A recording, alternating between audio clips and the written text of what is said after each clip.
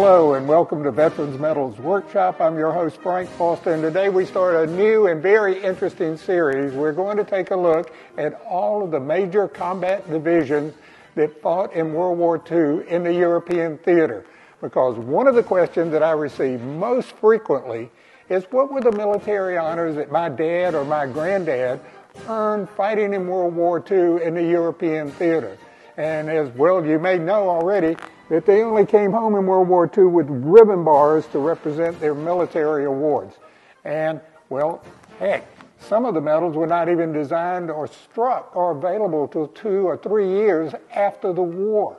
So many veterans never received their medals. We'll take a look at each major division patch and the heraldry and the significance behind it, the distinctive unit insignia. We'll take a look at the campaigns they participated in by date and we'll provide you with a reference below on that. We'll take a look at the major unit awards that they earned and the dates they earned them, so you can have that as a reference below. And then we'll take a look at the medals that every soldier who served in World War II in the European theater would have earned. And we'll look at the difference in the medals that a combat infantryman or combat medic would have earned as opposed to an artilleryman or a supply sergeant. I think you'll find it very interesting. And it should answer almost all of your questions. And we'll try to provide all the references that you need to check on down below. Okay, come on, let's go. The 1st Infantry Division, known as the Big Red One, was activated in June 1940 at Fort Benning, Georgia. And it entered into combat in November 1942 in Operation Torch, the Allied invasion of North Africa. It was one of the first American units to land on North African soil, and then the division went on to fight in several campaigns in Europe, including the invasion of Sicily and the D Day landings in Normandy. The 1st Infantry Division was responsible for securing the eastern flank of the Allied forces during the Normandy invasion. The division fought its way through the hedge groves of France and into Germany, taking part in some of the most intense battles of the war. The division was instrumental in the liberation of Aachen, the first major German city to fall to the Allies, and the division also played a significant role in the Battle of the Bulge and was among the first units to cross the Rhine River into Germany. The famous shoulder sleeve insignia of the 1st Infantry Division, a Big Red 1, is an olive drab shield almost four inches tall with a red Arabic numeral 1 to identify the division's designation. The 1st Division's distinctive unit insignia, shown in the lower left, has the colors red and blue that are from the distinguishing flags of infantry divisions. The figure in the center is that of the 1st Infantry Division monument located in Washington, D.C. Within the 1st Infantry Division, there were three major infantry regiments, and those were the 16th Infantry Regiment, that's starting on your left, and in the center, the 18th Infantry Regiment, and then the 26th Infantry Regiment shown on your right. Let's also take a quick look at some of the unit crests of the 1st Division's field artillery units. Of course, uh, they refer to themselves as the king of battle.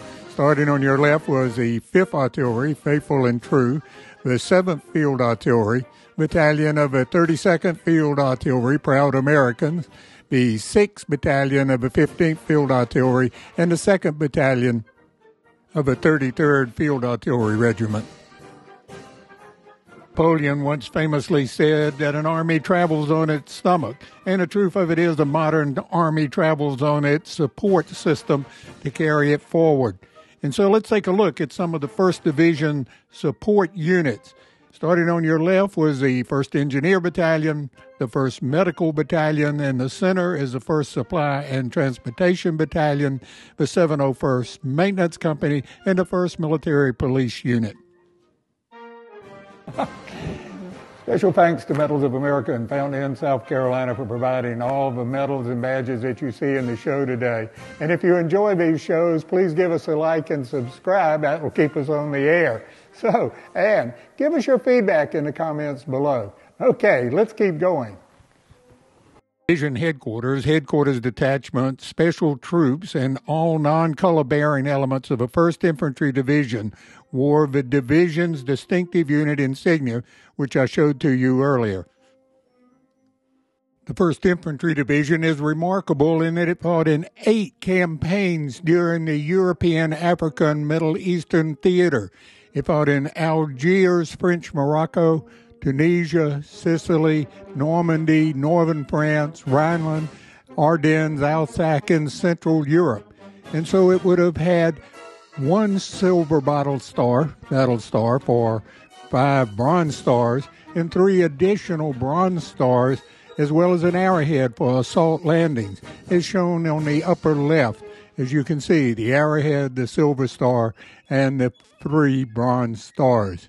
Now, not every soldier would have that, but depending on which campaigns he was in, he would have a bronze star for each campaign or a silver star for every five.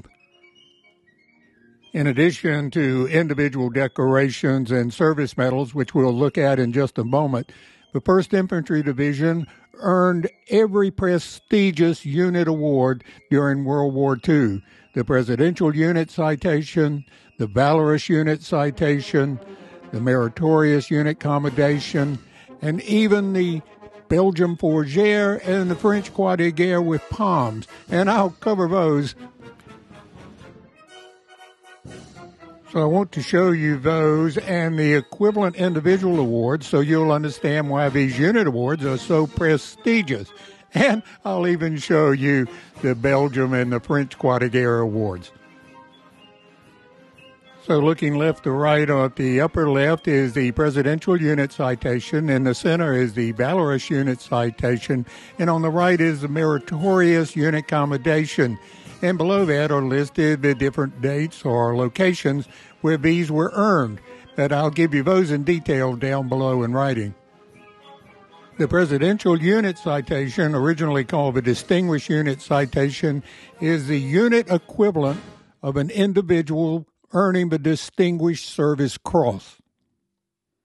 The Army Valorous Unit Award is the equivalent of the individual award of the Silver Star Medal, while the Meritorious Unit Commendation Award is the equivalent of the Legion of Merit as an individual award.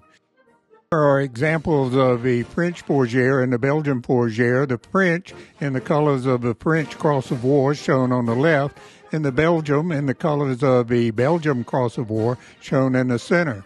And the way they would be worn on the left side of the uniform through the epaulet and hanging over his shoulder as shown here. Just as a quick review, during World War II, the War Department designated three major campaign areas as shown here. On the left was the Pacific Campaign area, which you see the yellow ribbon. In the center was the American Theater with the blue ribbon. And on the right, the one that we're looking at for the 1st Infantry Division, is the European African Middle East Theater. So this is what we're going to take a look at. This World War II medic came home at the end of the war with four ribbons as shown on the left. What we know today is he should have six medals as shown on the right. And now I'll give you a detailed walk through what I'm talking about. So every soldier who served in the 1st Infantry Division in the European theater would have been authorized these three medals. The American Campaign Medal, the European, African, Middle East Campaign Medal, and the World War II Victory Medal. And as I mentioned earlier, none of these medals had been designed or even struck until a couple of years after World War II.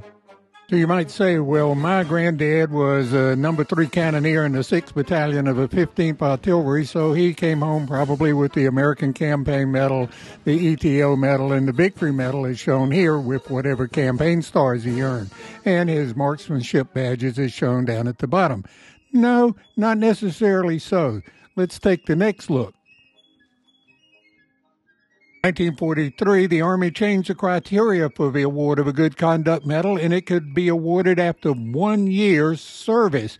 And so, your granddad, unless he got caught sneaking off to Paris one evening when he shouldn't have, would be authorized a Good Conduct Medal, the American Campaign Medal, the ETO Medal, and the Victory Medal, as shown here.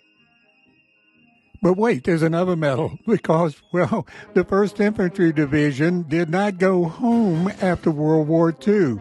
When the war ended in May, the 1st Infantry Division, being the division with the most combat time, of course, was designated to stay as an occupying force in Germany till 1950. And so most every member of a division would be authorized the occupation medal for Germany with the Germany bar. So now a World War II veteran of the 1st Infantry Division would have a display case like this with five medals in it the Good Conduct Medal, the American Campaign, the ETO Medal, the Victory Medal, and the Occupation Medal, along with, most probably, a Presidential Unit citation that was earned during the time he was there. And in 1947, General Marshall decided that every infantry soldier and medic who earned the Combat Infantryman's Badge or the Combat Medic's Badge would be authorized the Bronze Star Medal for meritorious service. Now, that differs from the Bronze Star Medal for Valor, which would have a V fixed on it, but every combat infantryman and medic of a 1st Infantry Division is then authorized in 1947 to have the Bronze Star for meritorious service. So now the appropriate awards for the 1st Infantry Combat Medic or Combat Infantryman would look like this the Bronze Star Medal, the Good Conduct Medal, the American Campaign Medal, the ETO Medal with the appropriate campaign stars or arrowhead for invasion, the Victory Medal, and the Occupation Medal. And then down below, any unit awards that he might have qualified for. So our combat medic who came home with four ribbons is actually today authorized six medals as shown here.